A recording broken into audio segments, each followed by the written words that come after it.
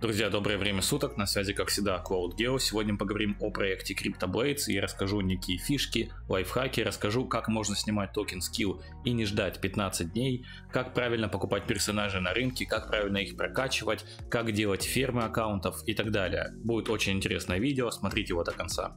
Ну а перед тем, как мы продолжим, рекомендую подписаться на мой телеграм-канал. Тут я вымещаю информацию о блокчейнах, о NFT, какие-то новости, свою аналитику, свои отчеты о доходах. Также здесь вы можете синхронизировать свой Google календарь со всеми дропами на всю неделю, и он автоматически будет вам напоминать о этих дропах. Если вы занимаетесь NFT, этот э, канал вам будет очень полезен. Ссылка на него будет в описании к этому ролику. Подпишитесь, не пропустите. Что ж, давайте начнем, и я думаю, начать стоит с того, что мне часто задают вопрос, а вот как обузить эту игру, да, есть же люди, у которых есть фирмы аккаунтов, как они справляются с этим, как не спалиться, как сделать так, чтобы нас не забанили. И ответ максимально простой, ребят, очень простой ответ, Все дело в том, что в CryptoBlades разрешено иметь несколько учетных записей, и как пишут разработчики, это сбалансировано за счет использования временных ворот выносливости. То есть это та выносливость, которая у нас вот тут вот есть, да, которая у нас тратится, и из-за которой мы, собственно, не можем нон-стопом воевать.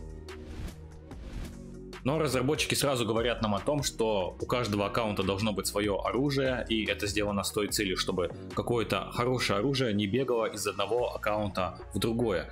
И это реализовано тем, что здесь имеется 24-часовая блокировка торговли и передачи предметов. Что это означает? То есть, если я передал кому-то из своих зрителей свой меч, то этот меч будет лежать на аккаунте моего зрителя 24 часа, и мой зритель никуда его не сможет деть, не сможет ни продать, ни передать. Таким образом, разработчики предотвращают проблему с передачей одного и того же оружия по нескольким аккаунтам.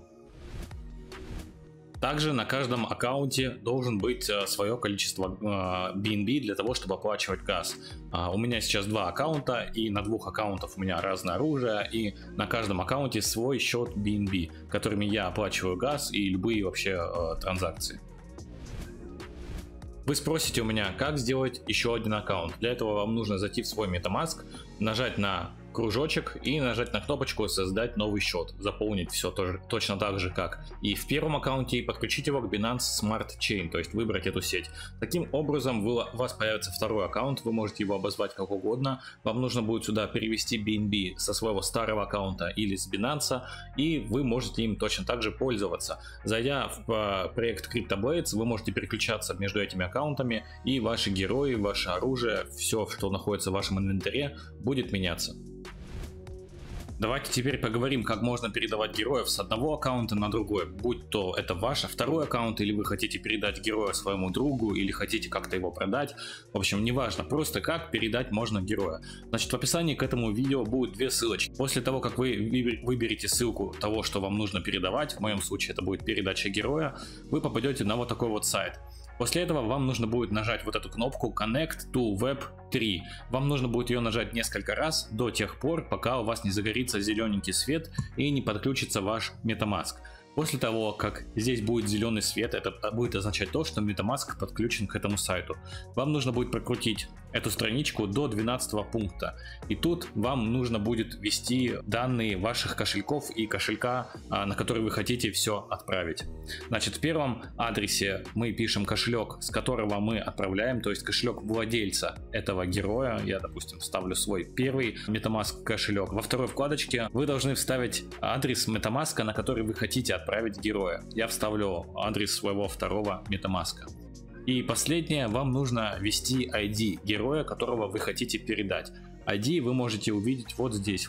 Вот, допустим, у этого героя ID 77151, у этого 132583, и вы пишете ID того героя, которого вы хотите передать. Допустим, 7751. 51, 77151. Вот, и нажимаете кнопку Write. После этого вы подтверждаете транзакцию в MetaMask и спустя минуту ваш герой отправится на другой аккаунт и э, его передача будет осуществлена. Для того, чтобы передать оружие, вам нужно будет сделать практически все то же самое, только обязательно перейдите по второй ссылке, потому что если вы перейдете по ссылке передачи героя и попробуйте передать оружие, или наоборот, у вас ничего не получится, у вас выйдет ошибка, вы просто потратите комиссию, э, ну, в общем, просто заплатите газ никуда. Значит, если вы хотите передать оружие, вы переходите по ссылке в описании во второй. По второй ссылке я напишу, что это будет передача оружия.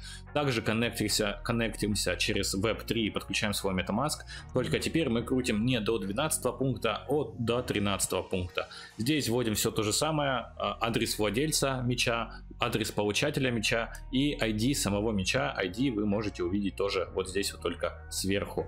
Я думаю, с этим вопросов у вас не должно возникнуть. После этого вы нажимаете кнопку Write и оружие попадает на другой аккаунт. Давайте теперь поговорим немножко о продаже и покупке героев. А, первое, что я рекомендую, это покупать героев именно на маркете, потому что именно на маркете вы можете выбрать стихию вашего героя. И ваша стихия героя должна соответствовать стихии вашего оружия. Это будет идеальный вариант, особенно если у вас все герои соответствуют стихии вашего оружия. Это достаточно важно. Далее, Тут э, у нас цены будут чуть поменьше, чем если мы просто рандомно попробуем э, взять себе персонажа в разделе Plaza, да. Но тут возникает такая ошибка, что при покупке у вас просит просто огромную комиссию, где-то 0.3 BNB. Ребята, это не значит, что вы купите этого персонажа, и эту комиссию платить не нужно. Это, скорее всего, ошибка, и просто персонажа, которого вы хотели купить, уже кто-то купил другой, и тем самым просто, ну вот, на данный момент ресурс так показывает то, что, видимо, герой уже продан. То есть он показывает вам огромную комиссию. На самом деле нормальная комиссия в, при покупке героя должна, должна быть минимальна и должна составлять примерно так же, вот как вы платите газ за то, что вы деретесь э, с ну вот с мобами, да, то есть там где-то 20 центов, ну около того, может немножко разниться, но никак не 0.3 BNB. Будьте внимательны и смотрите, э, чтобы у вас такое, такое не произошло и вы не попали на деньги. Давайте теперь поговорим про опыт и про прокачку героев. Первое, что нужно понимать, это то, что прокачка дает нам больший профит. К примеру, вот у меня персонаж 25 уровня, и когда он повысит свой уровень до 31, мой профит повысится на 13,5%. Важно понимать, что если мой герой сейчас станет 26, 26 левелом, то мой профит не повысится или повысится, ну, очень мало. Поэтому важно повышать профит именно вот по, по 10 левелов, да, то есть 11, 21, 31, 41 э, левел и так далее. Для этого я коплю свой опыт, который вы можете наблюдать здесь, и заберу его в тот момент, когда его будет достаточно для того, чтобы с 25 уровня повысить его прям сразу до 31. Таким образом я заплачу всего лишь один раз за газ, а не каждый день буду платить по нескольку раз. Сейчас на своих экранах вы видите табличку с левелами и тем количеством опыта для того, чтобы, э, ну вот, то количество опыта, которое вам нужно накопить, чтобы преодолеть 10 уровней этих. А, сразу хочу сказать спасибо моим зрителям а, за то, что предоставили мне эту табличку. Также хочу сказать ребятам а, спасибо, которые добавили меня в чат и отвечают на мои вопросы. Если вы смотрите это видео, то вам привет. Я думаю, вы поймете, о ком я говорю. Спасибо вам большое, вы мне очень помогаете развиваться в этом проекте. Давайте теперь поговорим, как снять токены скилл и не ждать целых 15 дней, чтобы вывести их без комиссии, да. Опять же скажу, что эту штуку придумал не я, эту штуку, этой штукой со мной поделились ребята с чата из дискорда, в который меня добавили. Еще раз вам привет. И э, давайте вернемся вообще к тому, что как это все происходит на самом деле. А, после того, как мы получили скилл, нам нужно прождать 15 дней, чтобы каждый день процент уменьшался на 1. И после того, как пройдет 15 дней, мы сможем вывести все свои скиллы без потери какой-то комиссии. Но есть способ не ждать 15 дней, а всего лишь прождать 7 дней. И заключается этот способ в стейкинге. А, значит, смотрите, мы заходим в стейкинг, выбираем именно второй стейкинг, это важно. И тут фишка в том, что мы можем запустить этот стейкинг абсолютно с любой суммы. То есть мы можем выбрать 0, 0, 0, 0, 0, 0, 0, 0, там 1, да. И стейкинг будет запущен, у нас пойдет таймер. Вот вы видите, 3 дня, 10 часов, 47 минут. И дело в том, что когда этот таймер будет подходить к концу, или вот сейчас, допустим, я могу сюда докинуть еще немножко скилла. Допустим, вот у меня сейчас есть 14 скилла, я могу 10 скилла сюда докинуть в стейкинг, и этот таймер не изменится. То есть, как было 3 дня 10 часов 46 минут, так он и останется. И неважно, сколько я буду кидать сюда скилла вот отсюда, этот таймер будет идти, как он и идет. И дело в том, что когда стейкинг заканчивается, вы можете снять эти деньги себе на кошелек и не заплатить комиссию. И более того, вы еще получите 10% себе на игровой счет, ну, который нельзя снять, но зато вы можете что-то купить.